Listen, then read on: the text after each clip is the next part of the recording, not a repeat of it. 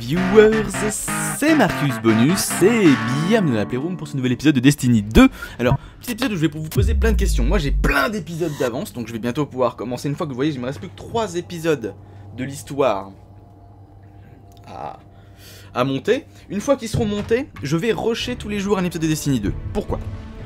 Parce que maintenant, une fois que j'aurai tout fait, j'aurai plus besoin de prendre mon temps pour euh, l'histoire c'est-à-dire prendre mon temps dans les uploads, hein, pas prendre mon temps pendant les tournages. Euh, du coup, voilà. Vous pouvez voir que j'ai bien EP, je commence à avoir du violet, je suis 240 de puissance, ça c'est assez ridicule pour le moment, sachant que ça monte jusqu'à 305. Euh, mais tout ça pour dire quoi? Aujourd'hui, j'ai, enfin hier soir, j'ai finalisé tous les petits coffres. Vous voyez qu'on peut trouver les petits coffres avec les petits espèces de points au milieu d'une espèce de mini parenthèse moitié bizarre. donc j'ai fini ça. Euh, et du coup, aujourd'hui, je vais aller voir les jalons avec vous, euh, sachant que je vais vous poser aussi une question, au passage, et la question est la suivante. J'imagine qu'Osorn vous a déjà parlé de l'héroïne du jour. Elle m'a rendu sacrément fier avec son tir qui a sauvé Zavala. Oui, c'est vrai qu'elle a bien fait pour le coup. pas fait mieux. Se battre au coude à coude avec des gardiens pour reprendre notre foyer, je dirais que c'est historique. Il a raison, il a entièrement raison. Avec le temps qui passe, un monde meilleur nous attend. Oui, tu, as raison.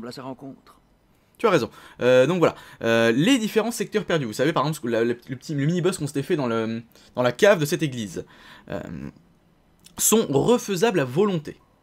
Donc ça c'est une bonne nouvelle. mais du coup, moi il falloir que je les fasse pour essayer de grimper en puissance. Est-ce que vous voulez que je les fasse en vidéo ou pas?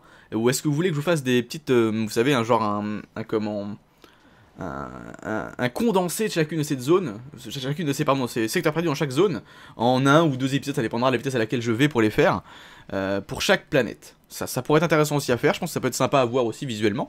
Euh, donc on va quand même, donc vous répondez dans les commentaires, et moi je vais faire toutes les quêtes qui me demandent là, donc accepter. J'ai entendu pas mal de nouvelles voix à la radio récemment. Ossorn me dit que c'est grâce à vous. C'est une bonne chose. Pendant que vous étiez en vadrouille dans le système, la situation s'est un peu compliquée dans la zone morte. Si vous avez un moment, il y a plein de choses que nous devons régler. D'accord. Les déchus, la Légion Rouge, et même ces satanés corrompus se battent pour savoir qui attirera notre attention en premier. oui, madame. Euh, voilà, du coup, on est bon. Et vous pouvez voir que j'ai un sacré nombre de jalons. Euh, du coup, j'ai bien envie de voir ce que ça va nous donner, donc on va les échanger. Hop. Niveau 1.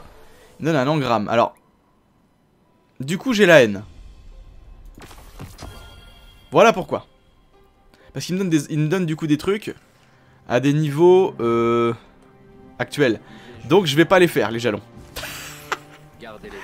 Je vais pas les faire. Euh, voilà, donc il m'a donné des engrammes. En fait, vous voyez, ces engrammes sont verrouillés sur mon niveau de puissance. Donc c'est bien, ça va me faire grimper très très vite les quelques premiers niveaux que j'ai là. Mais euh, sur le long terme, ce n'est pas intéressant selon moi.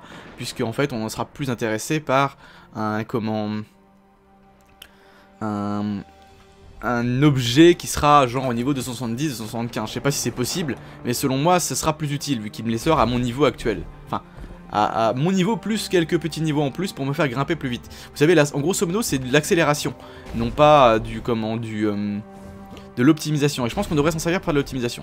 Bonjour, monsieur. Alors, je sais plus trop les armes que j'ai du coup hein, depuis hier soir. Je suis désolé. Euh, oui, ok, ce pistolet qui est complètement naze à chier. Et là, juste devant moi, je crois qu'il y a un coffre. Euh, voilà. Donc, vous voyez, ces secteurs perdus là, par exemple. Bah tiens, non, non, on va faire mieux que ça. Je vais juste aller chercher. C'est pas un coffre C'est pas un coffre. Je vais vous montrer le truc. Vous saviez, on l'avait déjà fait. Ici, il y avait le symbole, il nous l'expliquait dans la mission. Oh mon dieu, il y a quelque chose ici. On va y aller.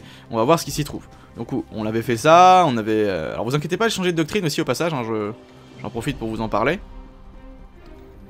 Euh, vous allez voir, ça va être rapide. à observer. Selon moi, une doctrine bien plus intéressante. Hop là. Bah alors.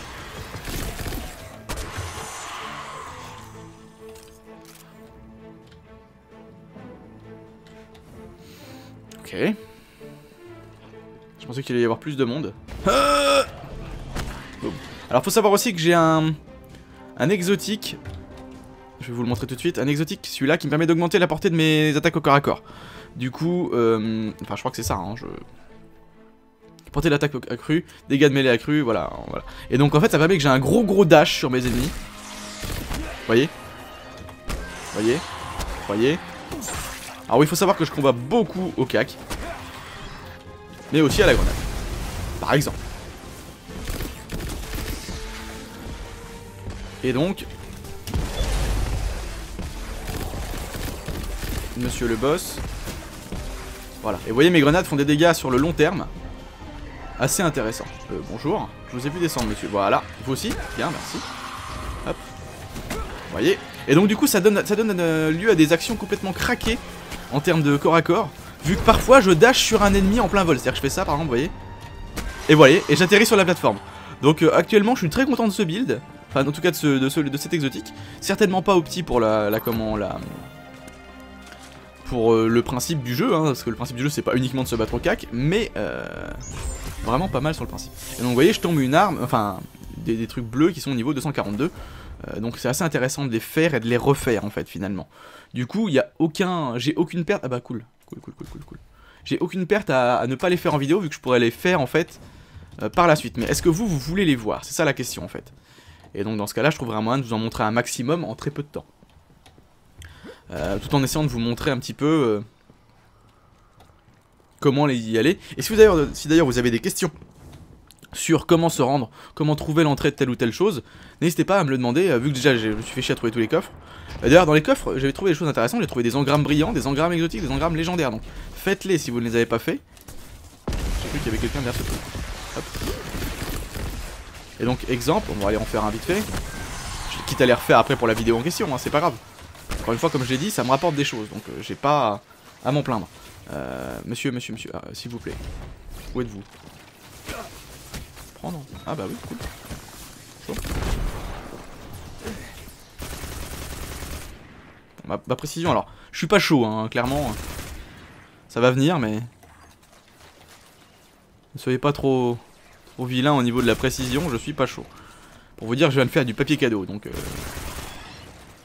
J'ai vraiment les doigts pour autre, préparés pour autre chose là actuellement. Ok, donc là on a tout nettoyé. Parfait, donc on sait que dans la zone il y a deux points. Un en face et un ici. On va essayer d'aller en chercher un. Vous voyez, là c'est très simple, il y a le panneau.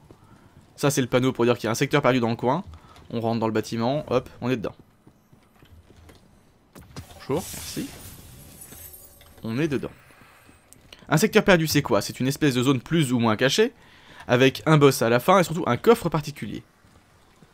Un coffre qui est verrouillé.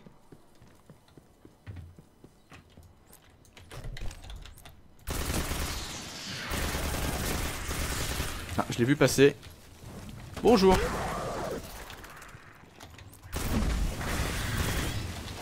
Celle-là, vous l'avez senti passer, hein. Alors, par contre, ce qui m'emmerde le plus, là... Voilà Nouvelle doctrine, comme je l'avais dit. Donc j'ai pas encore pris la dernière. Hein. Voilà. Et donc au passage, cette doctrine très pratique.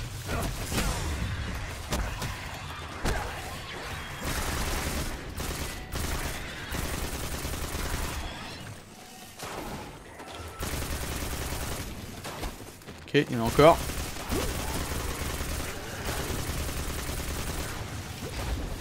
Faisons gaffe parce que que c'était pas le boss. toi tu viens pas au cac, toi non plus. Regardez, hop Voilà, j'ai eu les deux. Puisque grande portée de cac. Et regardez là aussi, bam Grande portée de cac, donc je suis à même d'aller dasher sur l'ennemi en plein vol. C'est complètement pété. Hein. Ça ressemble à un coffre, ça c'est rigolo. Et donc voici le coffre en question que nous cherchions. Hop, et vous voyez on trouve des trucs euh, assez intéressants, surtout plein de lumens. Euh, L'humaine que j'ai en quantité euh, astronomique, donc j'ai atteint le maximum, c'est-à-dire 100 000. 100 000 je crois. Mais bon, là je remonte du coup parce que j'ai acheté quelques petites choses euh, en attendant. 242, 245 j'équipe. Et vous voyez, donc ceux-là, je vais pas... Ah. Je, je devrais. Je devrais. Je devrais, mais je vais... Je vais ah, bon bah j'ai attendu, j'aurais peut-être pas dû finalement. 244, 246, vous voyez. Bah par contre là, je vais le mettre parce que cette arme-là est moisie de chez moisie. autant vous le dire. Ok, cool. Du coup, voilà ce que c'est qu'un secteur perdu. C'est juste une petite arène, entre guillemets, un petit truc en monde ouvert, par contre, hein, forcément. Euh, et donc, du coup, euh, je trouve ça bien fichu. Même si là, pour le coup, je pense que, étant dans la première zone, nous n'avons pas euh, de difficulté à le trouver pour l'instant. Je pense qu'il y en a qui sont beaucoup plus difficiles à trouver, j'imagine. puisque normalement c'est censé être un secteur perdu, et quand on me l'avait vendu, on m'avait vendu ça comme quelque chose d'assez compliqué à trouver, un, endroit secret caché. Euh, mais bon, jusque là, euh, on va par exemple aller voir l'autre, voir si c'est si caché que ça. D'ailleurs, il y a un coffre juste là-bas. Boum. Merci. Euh, bah, t'ouvres pas surtout. Par contre, est-ce qu'il est vraiment là? Oui, oui, je m'arrête en plein... Ouais, il est un peu plus par là. Ah bah ça, ça serait bien là. Vous voyez? Donc, c'est pas si euh, obvious. Mais ça l'est quand même un peu. Donc je trouve ça assez intéressant, moi, personnellement.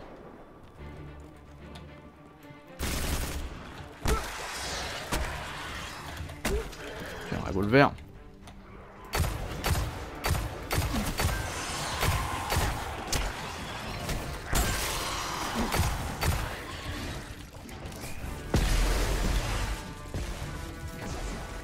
Wow, il est...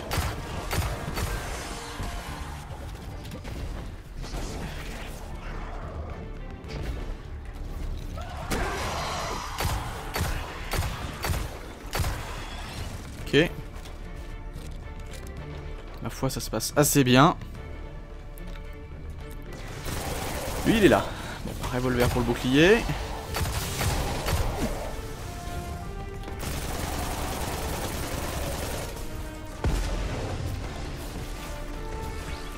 Fait mal. Ils sont un, poil trop nombreux dans le coin.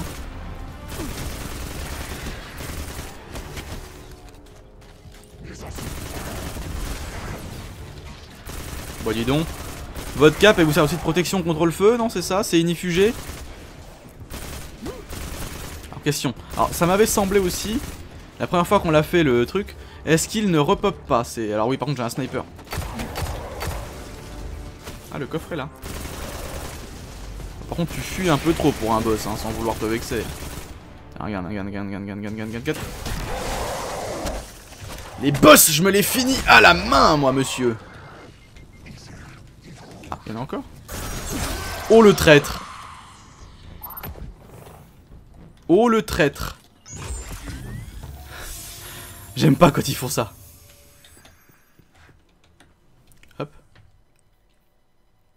243, je prends. Mon objectif étant, actuellement d'atteindre au moins 265, je dirais.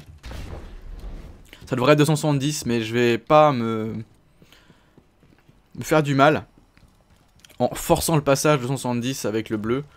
Euh, je pense que ce serait pas une bonne solution. Euh, pour ceux qui s'inquiètent de pas trouver trop d'engrammes pour le moment en, 200+, plus, euh, j'ai l'impression que c'est, pas, je vais pas dire capé, mais presque, vous voyez ce que je veux dire? C'est-à-dire qu'à peu près au niveau 250, vous allez commencer, je pense, enfin 240 déjà j'ai commencé à en trouver un peu plus. Même 230 j'ai commencé à en trouver un peu plus. Euh, c'est vraiment... Tiens, vous faites ça, vous Ah, raté Alors j'ai trouvé quelques références aussi, par exemple dans les engrammes brillants il y a un, d'extraction D'accord, je suis tout seul dessus. Éliminez-les tous. C'est pas la peine. Si je suis tout seul dessus, c'est pas la peine. Euh, donc voilà. Est-ce qu'on en a un autre rapide dans le coin ou pas? Donc vous voyez, ils se grisaillent, mais donc du coup ils disparaissent pas. Les coffres, eux, disparaissent complètement. Mais euh, ceux-là grisaillent, mais ne disparaissent pas. Donc c'est assez cool. Euh, ça permet donc de les refaire à, volonté, si je puis dire. Euh, mais euh, voilà. je sais plus ce que je disais. Oui, j'ai trouvé quelques références, par exemple un passereau. Donc les passereaux, ça, c'est l'espèce de moto jet. Vous savez que vous avez maintenant. Enfin, vous avez pas vu que j'en ai un, mais j'en ai un. si, vous avez vu que j'en ai un. Vu que je l'ai acheté avec vous en vidéo, c'est vrai, je m'en rappelle. Hop. Bah, j'ai trouvé celui-là maintenant dans un engramme brillant. Donc celui-là, lieu d'être 140 de vitesse comme les normaux, il est à 150. C'est un rare. C'est un rare et donc il y a les légendaires. Putain non je me trompe tout le temps. Si c'est ça, c'est un rare mais il y a les légendaires qui eux sont à 160 de vitesse.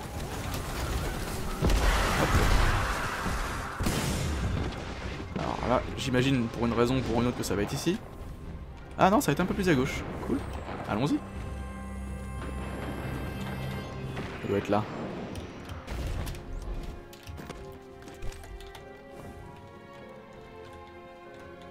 Alors par contre j'ai toujours le problème de pas de pétoche. J'aimerais bien avoir une lumière quoi.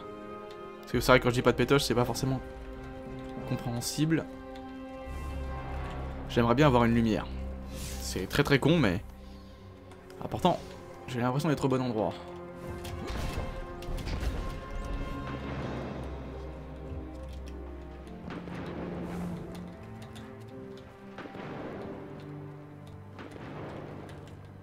Et vous voyez, même les armes font pas...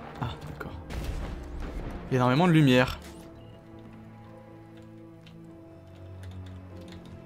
Dommage, ça a l'air sympa par là. Attendez, je vais rentrer. Quand même.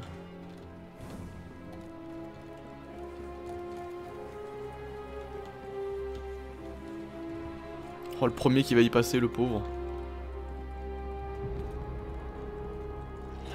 Ce sera pas vous Ah, merde.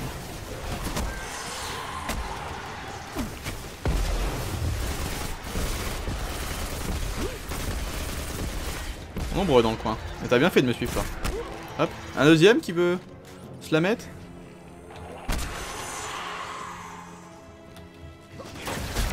Voilà, problème résolu. Bougez pas, surtout, hein. Bon, j'ai l'impression de faire très peu de dégâts avec cette arme. Alors voilà, c'est ça qui est chiant avec les rebus, c'est que dès qu'ils vous voient apporter, ils ont envie de venir vous coller un petit coup de dague.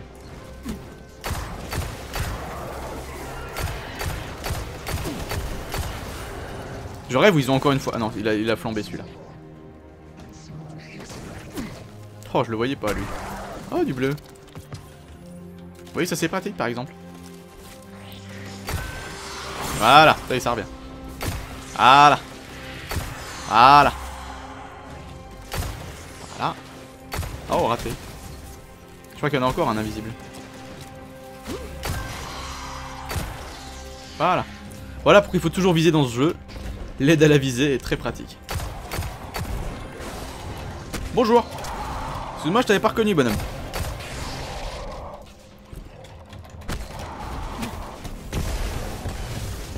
Où est-ce qu'il est allé?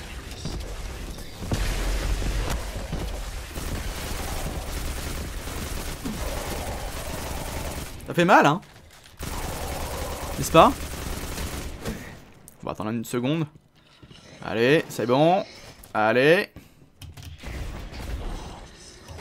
Je pourrais passer encore. Allez, active-toi. Active-toi Allez Bon, euh, normalement j'ai mon dash qui... Ça y est. Boum. Il était. Que tu acceptes la défaite. Et le coffre est ici. Allez. Hop. Et on tombe un tigre noir en arme énergétique. 246, 242, donc celui-là est pas intéressant du tout. 247, 244, pas intéressant non plus. Et on est bon. Donc voilà à quoi correspond à peu près mes soirées en ce moment sur euh, Destiny quand j'y joue. C'est vraiment du pur grind et du pur farm, et ça ne me dérange pas jusque là. J'apprécie le truc, que ce, soit, que ce soit passé par les événements publics, euh, passé par euh, les coffres, passé par euh, le, trash, même le trash mob, vous savez, la recherche de boss et les coffres de comment, les coffres qui repopent. Parce qu'il y a des coffres aussi qui repopent qui sont aléatoirement placés sur la map. Euh, pour l'instant, je n'ai aucun problème avec ça. Alors après, je peux comprendre que certains l'ont. Coco. C'est où? Il est là. Ah oui, il est là. Il est caché dans le, fourré. Hop, les boum.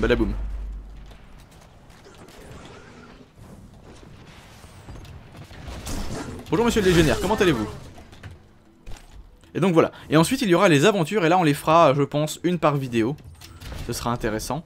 Faudra voir euh, ce que ça m'a apporté ou pas. Ah, est-ce qu'il me reste encore des choses Ça fait 19 minutes. Je vais peut-être en faire encore une. Il y en a une à peu près en plein milieu de la map. Ah, il y a un pion dans le coin. On va prendre le passereau. On va gagner une seconde.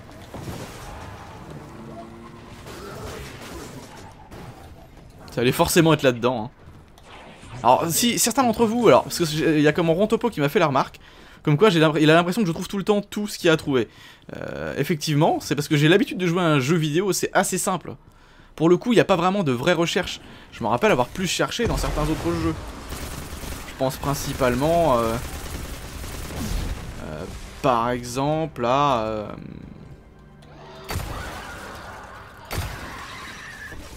à Far Cry, vous savez Les différents trucs à trouver dans Far Cry. J'avais eu un peu plus de mal. C'est une, une prêtresse en corrompu.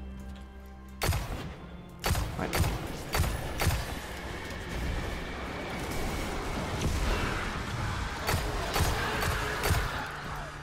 Plus de balles.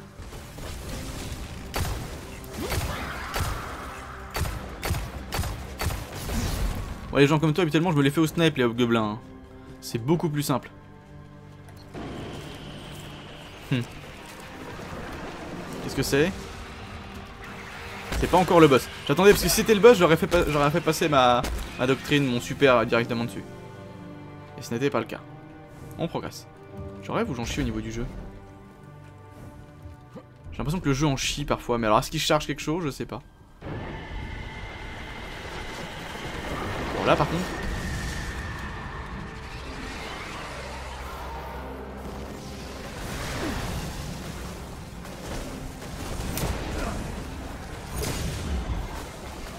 Je suis con, c'est pas des...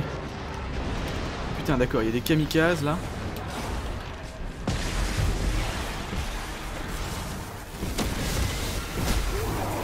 Ça va les empêcher de m'approcher que je laisse une... Euh, oui, je laisse une marque quand, je, mon premier impact laisse une marque.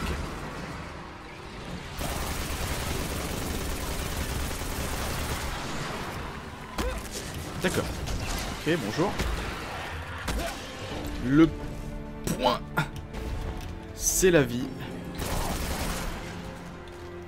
Certains d'entre vous euh, savent sans doute déjà quel genre de stuff je cherche pour le, le very endgame, on va appeler ça comme ça. Secteur oublié, pillé, cool. Siège primordial. 247, 243, c'est pas intéressant, je démantèle. Et je tombe des matériaux des armuriers. Euh, voilà. Donc, euh, grosso modo, grosso merdo même je dirais, voilà à peu près ce que je, ce que je fais en ce moment. Euh, enfin, ce que je vais sans doute commencer à faire derrière. Et si vous voulez le voir en vidéo, encore une fois, n'hésitez pas à le demander. je ferai un petit un petit mix de tous les trucs que j'ai fait, ou seulement des intéressants, ou seulement de ceux où j'aurais trouvé par exemple du bon stuff, je ne sais pas. Dites-moi comment vous voulez que je le fasse dans les coms, et je le ferai. Tout simplement. Euh, vaisseau trouvé dans les, euh, dans les engrammes brillants, au passage. Je pense à, en dire. Je vais peut-être peut tomber 5 ou 6 engrammes brillants jusque-là, et c'est assez intéressant ce qu'il y a dedans pour le moment. Euh, hormis ceux où il y a pratiquement que la peinture est intéressante. Même si j'ai trouvé des peintures, enfin des, comment, des, des revêtements, je crois que c'est comme ça qu'ils les appellent. non même pas, les revêtements c'est pour les armes. J'ai trouvé deux revêtements d'armes, je crois, jusque-là. Mais euh, c'est pas ça que je, qui m'intéresse. Ce qui m'intéresse pour le moment, c'est euh, les couleurs. Voilà. Je vais y arriver. Et aussi, donc on va aller là... Qu'est-ce qu'on fait là tout de suite? On va aller choisir notre faction. Euh, ça peut vous sembler bizarre ce que je vais dire, parce qu'on est arrivé en endgame et là on choisit la faction. oui, effectivement, ça m'a choqué. Et je peux vous le dire, il n'y en a qu'une seule qui me plaît. Une. Uno. Tu veux bien te poser rapidement ou, pas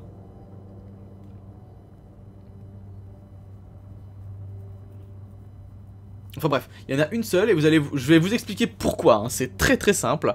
Elle a absolument tout ce qui les autres n'ont pas.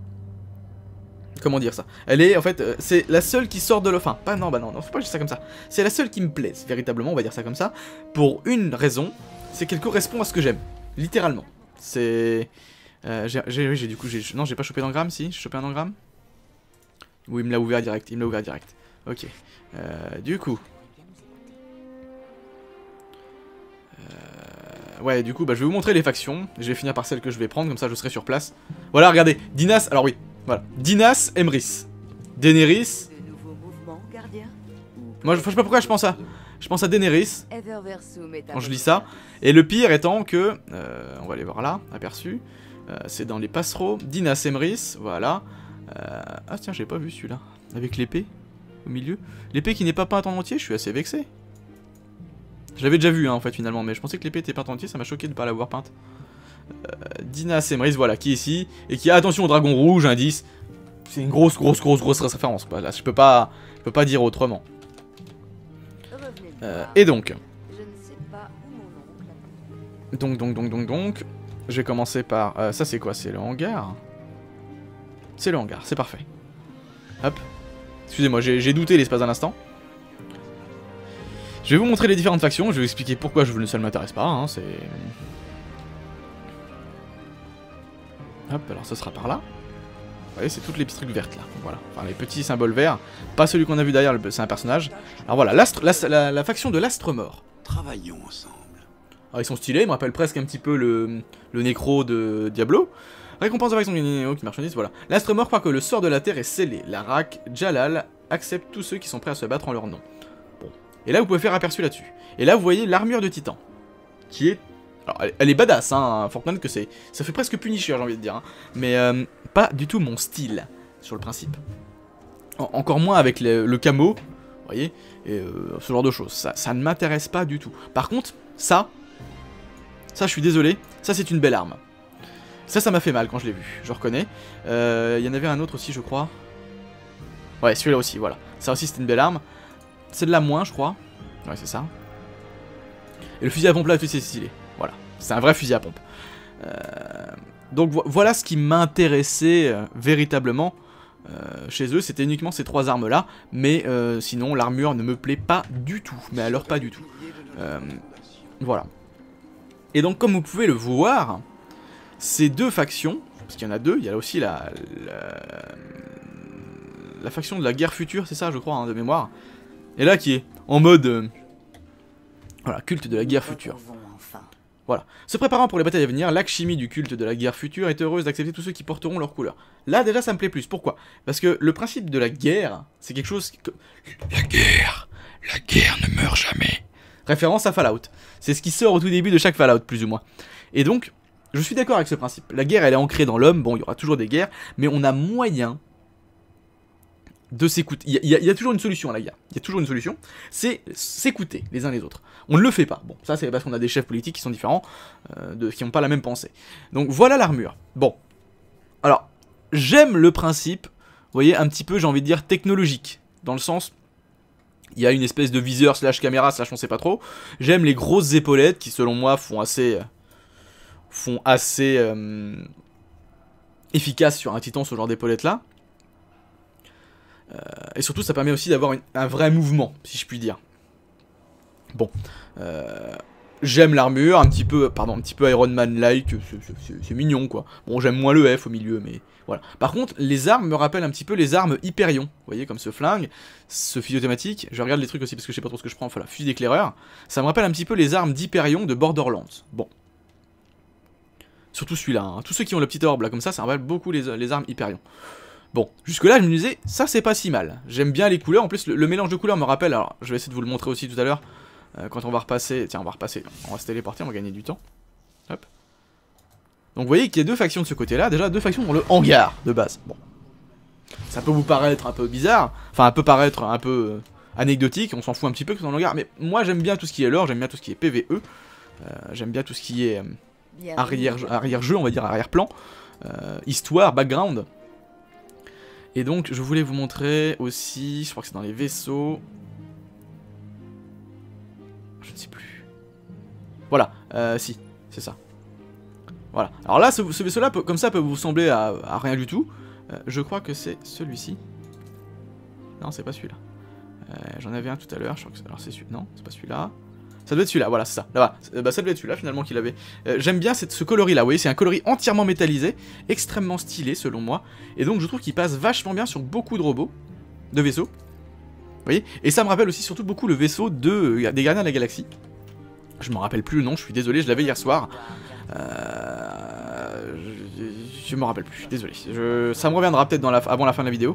Mais voilà. Et donc je disais, il y en a deux dans le hangar et une faction bizarrement qui est dans le quartier du peuple. Voilà, euh, déjà de base, euh, qui est même plutôt bien euh, agencé, etc. Et qui se casse les couilles pour, pour les autres. Tu vois, genre, là il y a un bar, mais de l'autre côté, dans, dans la zone de faction, il y a une sous populaire. Bon. Alors faut savoir que moi si j'ai pris Titan c'est parce qu'en vrai je suis un paladin, hein. je me bats pour le faible et l'orphelin, etc., etc. Bordel truc muche. Euh, mais enfin voilà, ceux qui me connaissent savent que je suis un gentil. Et donc, je suis allé voir lui, nouvelle monarchie. Déjà sur le principe, paladin, monarchie, je commence à, à avoir les, les comment les, les boules qui s'émoustillent littéralement hein. Euh, avec l'avènement du nouvel âge de l'intendant idéo oh référence japonaise que de cheval japonaise etc oh ça commence. Euh, prêt à accepter tous ceux qui veulent porter les couleurs de la nouvelle monarchie. Porter les couleurs. Donc déjà même sur le principe de la comment, comment c'est écrit c'est stylé je vais là-dedans et je vois ça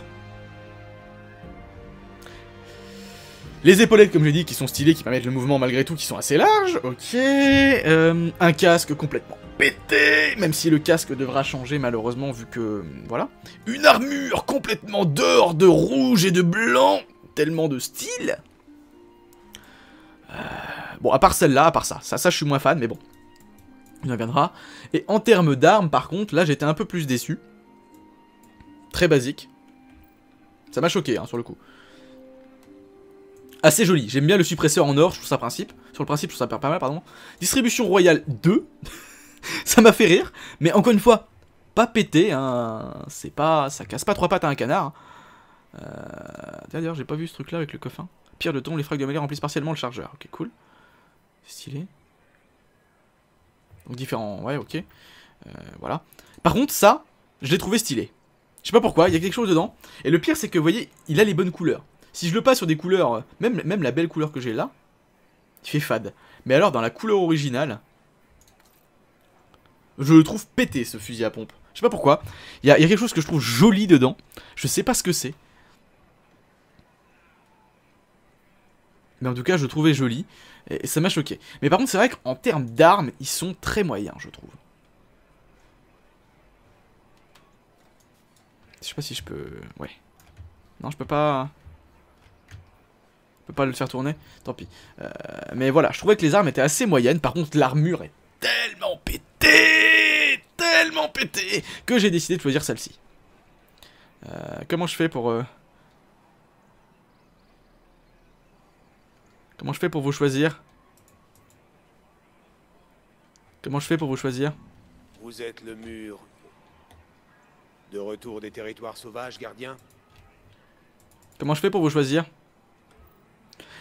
alors ça se trouve on les choisit pas, ça se trouve on, gagne les trucs en faisant au pif Tu te fous de ma gueule là Bon bah je croyais que je pouvais les choisir, vous voyez j'ai même pas fait gaffe.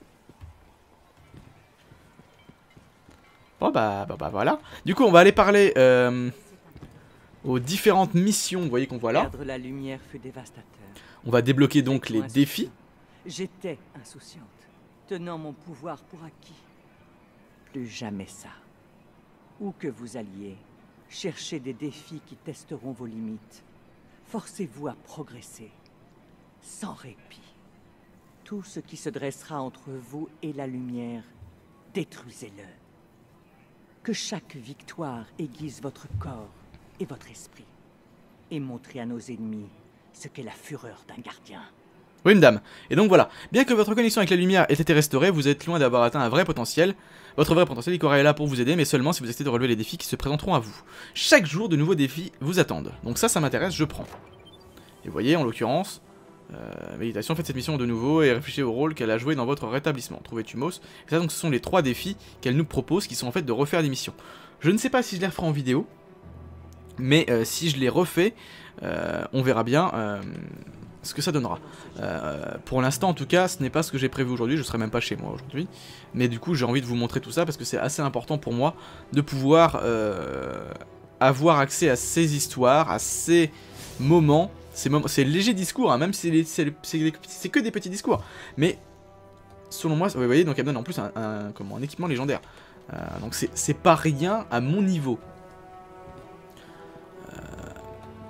Donc voilà, euh, je crois qu'elle était toute seule dans le coin là-bas. Là-bas, il va y avoir Zavala. Alors Zavala, on va faire attention de ne pas prendre l'engramme. Je vous rappelle que l'engramme était à 217 de mémoire quand on l'a vu pour la première fois. Je tiens à vous le rappeler. Quand je l'ai revu une fois, euh, je l'ai vu à 230. Là, je pense qu'il devrait être à 250, entre 250 et 260. On va voir si je me trompe. 255, vous voyez Désolé, je te coupe. À partir d'aujourd'hui, j'autorise de nouveau les missions d'assaut. Voilà. Ces assauts formeront l'élément central de notre défense contre nos ennemis d'aujourd'hui et de demain.